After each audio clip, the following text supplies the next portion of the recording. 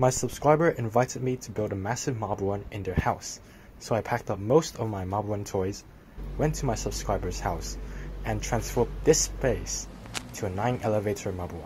Enjoy!